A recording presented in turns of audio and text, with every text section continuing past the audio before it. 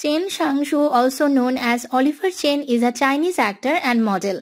In 2024, he starred in Our Interpreter. In 2020, Chen starred in the romance fantasy web film The Enchanting Phantom, adapted from the 1987 film A Chinese Ghost Story.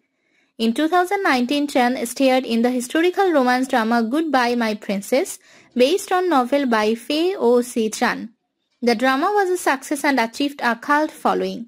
Chen received positive reviews for his portrayal of Zhu Shao or Li Chengyin, which led to increased popularity for him. He was then cast in modern drama The Best of Times, followed by military drama The Glory of Youth. In 2005, he participated in the military award drama The Door to the Wind. In 2006, he starred as Pan Dongzi in the modern children TV series Sparkling Red Star. Although Chen Xingxu was born in Shenyang, his mother works in Beijing. So she brought him to Beijing and let him study in elementary school at Beijing Haidian District Foreign Language Experimental School.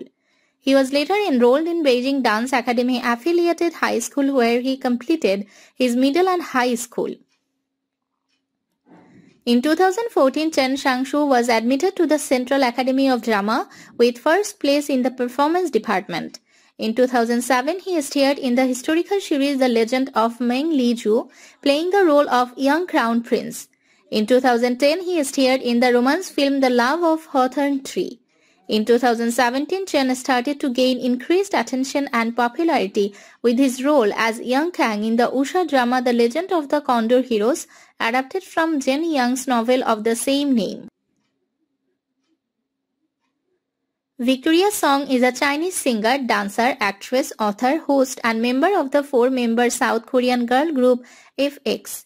In 2024, he starred in Our Interpreter. In 2023, Victoria took the role of Han Lu in the film Post-Truth. She had been on a roadshow around China to promote the film. In 2022, Victoria starred in Beloved Life as Du Di, a resident of Jen. In 2021, Song terminated her endorsement contract with the clothing manufacturer H&M after it criticized China for human rights violations against Uyghurs in the Xinjiang region of China where cotton for clothing products is grown. In April 2021, SM Entertainment announced that their contract with Victoria had ended. In August 2020, Victoria's female-centric drama Love Yourself was released both in China and internationally. She stars as a television reporter who is lost about love.